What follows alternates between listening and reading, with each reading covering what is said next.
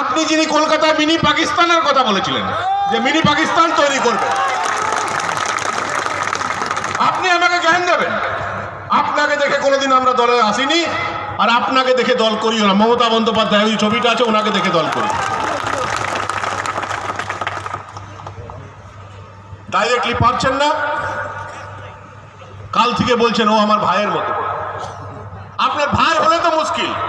আপনি ভাই হলে তো আসানসোল, দুর্গাপুরের মধ্যে ভাগ চাইতে শুরু করবেন। ভাই বললে বলে, ভাই, আমার ভাগটা আমাকে দিত আমরা দিতে রাজি না। তাহলে আপনার তো স্বভাব।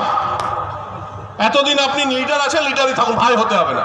কেন ভাই হলে তো বলবেন যে, না, ভাইদের তো একটা অধিকার থাকে, তাহলে গ্রেফাইডে পঁচিশটা লোক আমাকেও দিয়ে দাও ভাই, ওই দরকার নেই।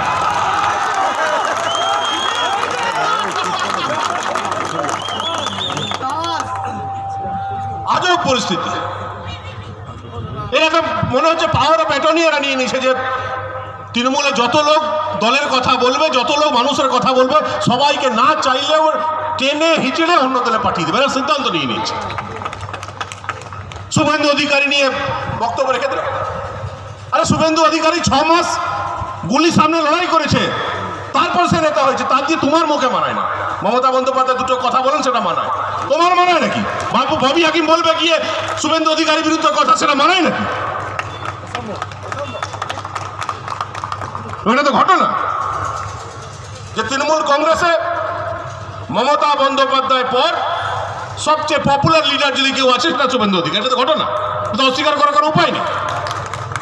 এটা উচিত ছিল, যারা নেতারা আছে তাদের উচিত ছিল যে যে ভুল বুঝাবুঝি আছে, সেটা মিটিয়ে নেওয়া। এটা উচিত ছিল। শুভেন্দু অধিকারীর সঙ্গে বসে আলোচনা করা যে আপনার আবেগ কি আছে কেন আপনি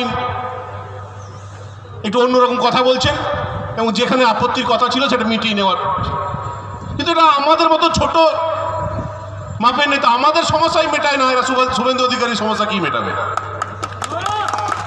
এরা ভাবে সব অন্য কারও কারও জন্য জায়গা ছাড়ো সব আমাদের চাই।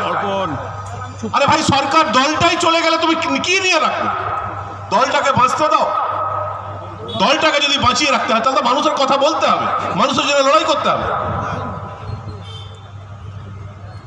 এই গ্রেফাইটের জন্য জেলা সভাপতি হওয়ার পর অন্তত কুড়ি বার আমাকে, আমাদের দলের লোকেরা কথা বলেছে। ধর্মেন্দ্র বারবার লোককে নিয়ে গেছে।